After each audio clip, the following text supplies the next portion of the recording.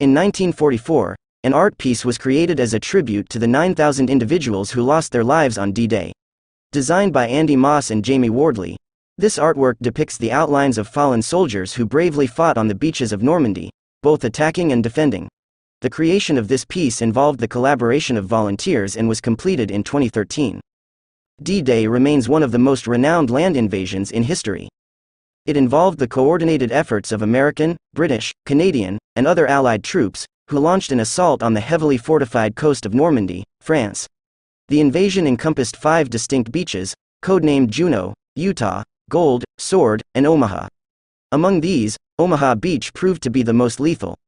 The Allies intentionally chose Normandy to deceive the Germans, who anticipated an attack at Calais due to its proximity to Britain. Tragically, 9,000 men lost their lives during the operation. Prior to the invasion, Allied aircraft dropped 13,000 bombs on the coastal defenses, although many missed their targets, particularly at Omaha Beach, resulting in the highest death toll of 2,400. Despite the failed bombardment, the invasion proceeded due to favorable weather conditions. Originally planned to commence before June 6, the attack was postponed due to adverse weather.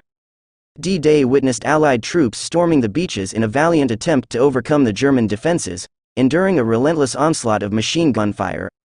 Ultimately, the Allies achieved success in their mission.